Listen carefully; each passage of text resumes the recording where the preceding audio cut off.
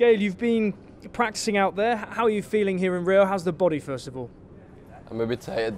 I'm honest with you, I'm a bit tired. Um, I flew to, uh, last night.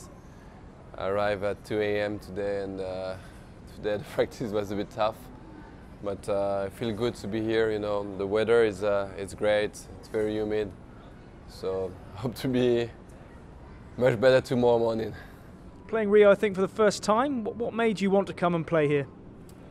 You know, it's the South American swing. You know, first time for me. Also here, you know, want to play on more on clay courts. You know, try to have matches before uh, the European swing and before the French. Um, that was the, the idea.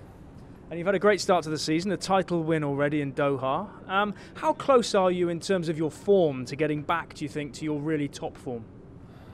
I, I wish I could be closer than now, but uh, it's, uh, it's quite a long way, quite a long way. You know, I think, uh, you know, when you're out for so many, so many weeks out, and then you know to build back uh, the, your physical stuff, your mind, your game, it's take a while. So I'm, uh, I'm, I'm a bit far, I think now. And what are your goals for this year with that in mind?